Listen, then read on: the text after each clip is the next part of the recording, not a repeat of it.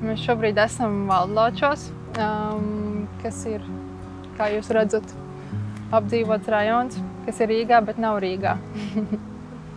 Um, mana bērnība patiesībā pagāja meža vidū. es uzaugu tiešām 36 km iekšā mežā no tuvākās pilsētas, kas bija Alūksne. Un es uzaugu vietā, ko sauc Rezaka. Rezaka bija internāta skola, kurā dzīvoja mana ģimene, un pa skolas laiku dzīvoja arī skolēni.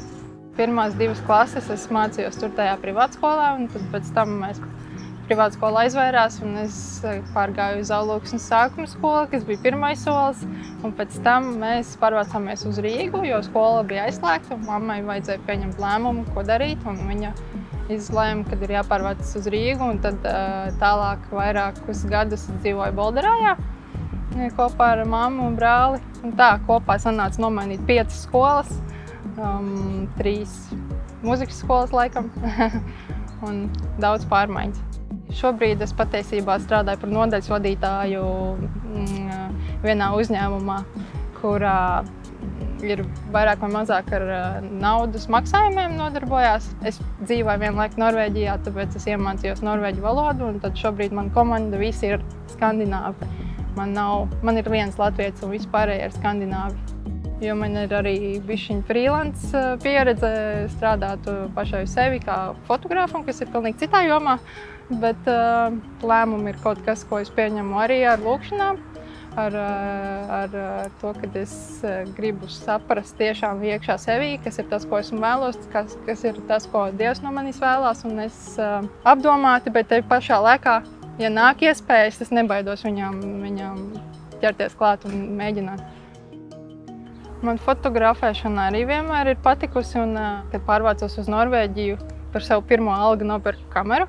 Tas bija jau pirms gadiem, astoņiem gadiem, un, vai pat vairāk. Es nezinu, bet sapratu, ka man vajag kameru, jo ir kalni un ir skaisti, un ka to visu vajag iemūžināt un rādīt draugiem. Sāku fotografēt manā garā, un tad pēc tam es satiku savu vīru, un nu, viņš ir fotogrāfs jau gadus, arī daudz, kādus 14 vismaz, un viņš man sāka mācīt apstrādāt, sāka mācīt, ko es daru nepareizi būtībā. Un, uh, tad mēs sākām to darīt kopā. Sākām kopā arī fotografēt pasākumus un kāzas. Un tagad tas jau arī ir kādu laiku, jau vairākus gadus.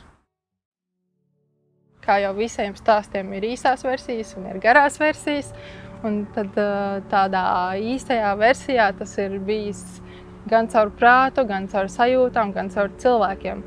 Tas nozīmē, ka uh, Es bērnībā ļoti, ļoti biju pret to. Es domāju, ka es neticu dievam. Patiesībā esmu dusmīga uz dievu, tāpēc, ka man tēvs mūs spieda darīt visādas lietas, kā piemēram, veda mūsu naktī uz kapiem, deva rokās bībeli un teica, lasi tagad bībeli. Viņš spieda mums darīt tādas lietas. Viņš ir arī um, alkoholiķis. Tāpēc viņš, uh, viņš sita gan savu māti, gan manu mammu, gan visādas lietas ir bijušas. Un tajā pašā laikā, paralēli, viņš arī, piemēram, uzpirka mācītāju un vadīja dievkalpojumu. Un mēs uz to visu skatījāmies. Un, un es nevaru teikt, ka es neticēju Dievam, bet es domāju, ka Dievs nav labs.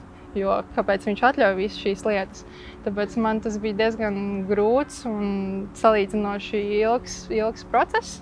Savā ziņā varbūt tas, tas nebija tāds klikšķis, un tagad es ticu Dievam, bet tas nāca pakāpeniski.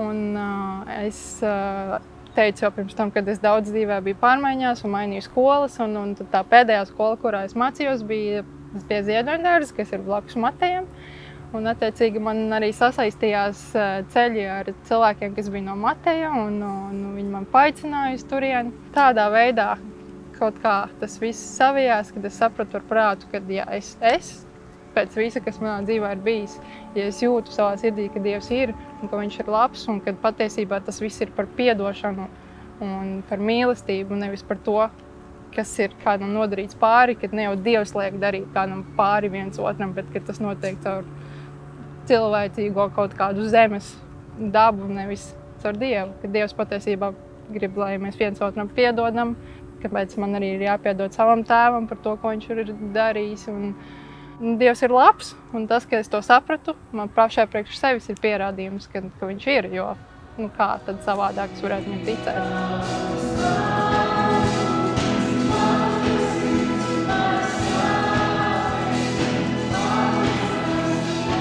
Matejs vienmēr manā sajūtu līmenī ir kā tās otrās mājas, jo es tur esmu bijusi daudz. Ir bijis laiks, kad es tur esmu bijusi katru dienu.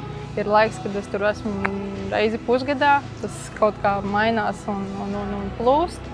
Un esmu gan spēlējusi orķestrī, gan bijusi muzikālā vadītāja skolā, gan svētdienas skolu vadījusi, gan visādas, nezinu, visādas lietas, kas, kas ir bijušas, esmu iesaistījusies es jūtos tur ļoti, ļoti labi. Es uh, zinu, ka, ka tā ir vieta, kur atgriezties. Nu, ja citiem varbūt visi ceļi ved uz Romu, tad man dažreiz liekas, ka manā dzīvē visi ceļi ved uz Mateju. Jo es esmu mēģinājis iet arī uz citām vietām, uz citām draudzēm, uz citām baznīcām, bet uh, vienmēr ir tā sajūta, ka vēl atpakaļ uz Mateju.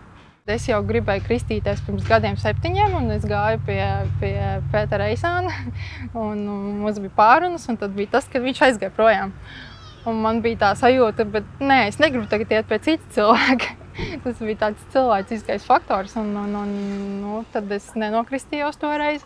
Tad pagāja kaut kāds laiciņš, tad es sāku iet uz vienu citu draugu, un, un, un uh, tur arī man kaut kā nesanāca sakontaktēties ar, ar mācītāju. Un tad šogad, kad es zināju, ka šogad es precēšos, tad es uh, sapratu, ka pirms es precos, es gribu kristīties. Un es sapratu, ka vienalga, kas notiks, tas arī tomēr ir mans lēmums. Un pat ja ir daudz šķēršļu, tomēr, ja es esmu pieņēmusi lēmumu, man tas ir jāizdara šogad.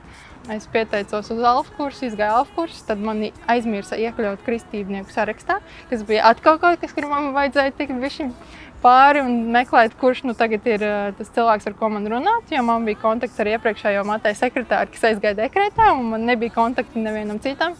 Bet tad nu, es kaut kā caur, caur mācītāju tiku iekļauta atkal sarakstā, un tad jau viss bija vienkāršāk.